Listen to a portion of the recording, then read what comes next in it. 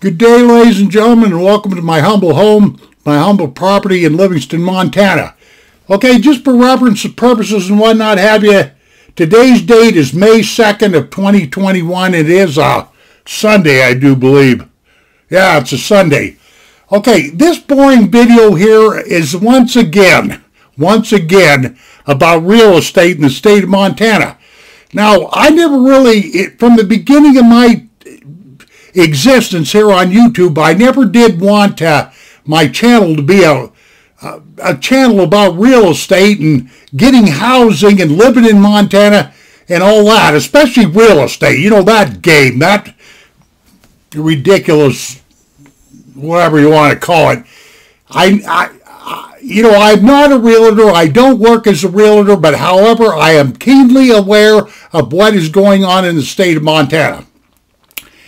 Okay, I am getting this information that I'm passing on to you right directly from my daughter and my son-in-law that lives over in Belgrade, Montana.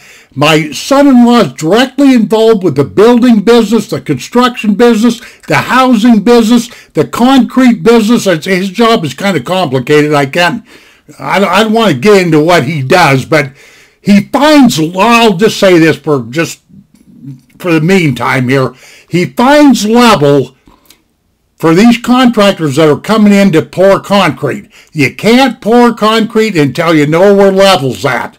It's as simple as that. And he, he does all this his kind of work with a with a with a what's it called? The Trimble. It's a it's a laser. It's a laser shooting type of device that finds level for him and everything. And so he's the first guy that's ever on a job before they even lay one stick of wood, one piece of con- one blob of concrete or anything. He's got to be the first guy on a construction job because you can't start constructing unless you know where, like I know I'm repeating myself, unless you know where level's at.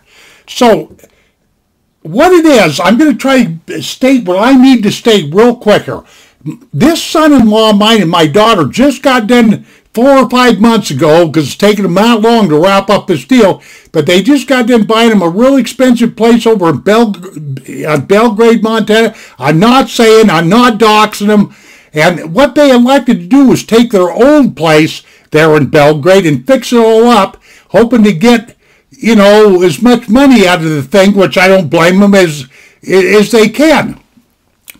So naturally, there this buying arrangement they had for their new home and whatnot have you, they had some they had some money working for them that I'm not at liberty to say here, but they had, you know, they had their own source of money that was able to buy out their place, their old place, in, in, in order for them to get the the they needed to overhaul the basement. The basement was always unfinished, and they, you know, this this is what they did. They put in a couple of bathrooms, a heated floor, all kinds of rooms, painted the thing, light, fancy lights. I know I've been in there several times, but it's taken them quite a while to get all this work done. Brand new carpets down there and everything, because basically they were one four hundred and twenty thousand out of their old place but the realtor come along and told them about this wonderful thing that I just had to get on YouTube and talk about this for a few seconds so you folks don't think I'm kidding about this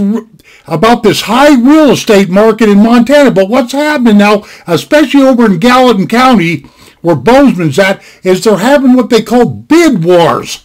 Did you hear me? Bid wars on these homes. So, uh, like a like you, you take like my son-in-law and my daughter, they're hoping to get 425 out of that place, but the realtor has done come along and said, look, don't be surprised if in the first week or so, maybe, yeah, it's only going to take about a week for them guys to sell that place, but you're going to get like four or five bids, and this place could go as high as, you know, like, I think she was talking like 480 or 490 or some crazy thing like that especially if they get a lot of people bidding. Now, I just can't believe this. I can't believe this shit.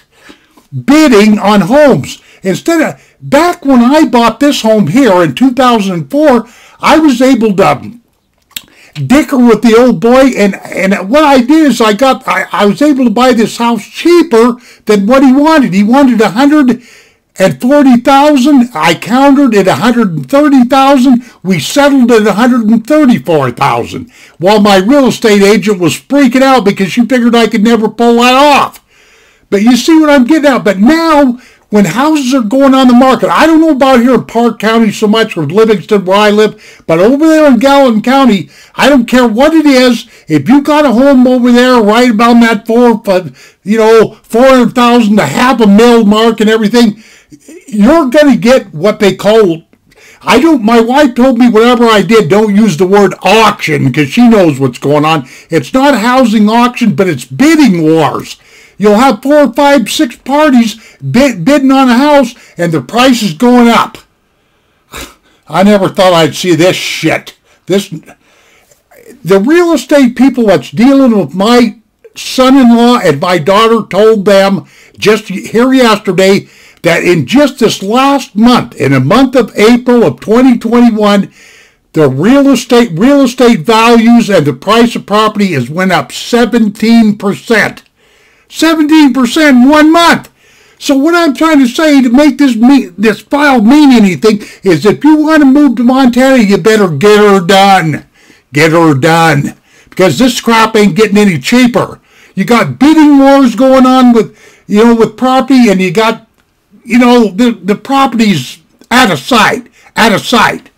And now that I've got only about seven minutes on this file, or there close to it, I'm going to get out of sight. I just had to squeak this in here. Thank you very much, ladies and gentlemen, for listening to me.